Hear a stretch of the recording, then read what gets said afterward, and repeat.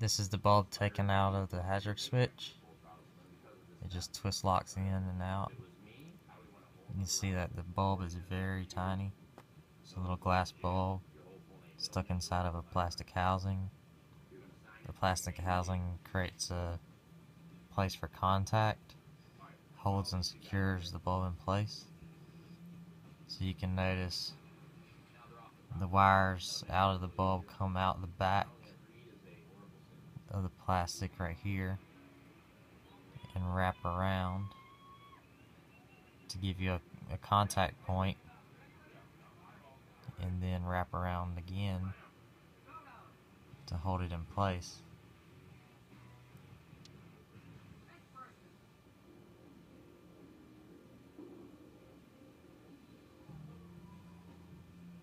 So in order to find out what type bulb this is, we need to measure it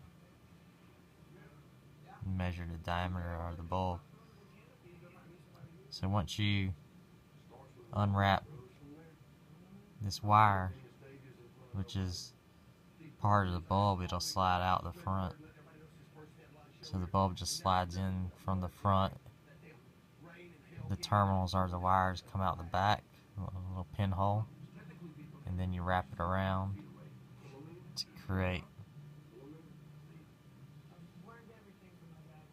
this little point of contact in the front and to secure the bulb into place.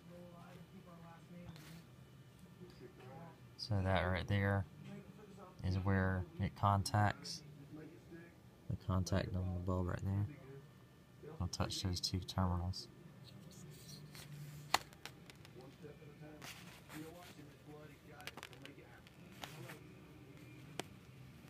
So to determine the size of the bulb, use a caliper. You don't necessarily have to have one because I'm fixing to measure it right now. You open it up, squeeze it on the bulb, and what we have is about, it's going to be a 3 millimeter bulb, which is about an eighth of an inch, so 3 millimeter or eighth of an inch bulb. And that's all you, you need to replace the light your hazard switch.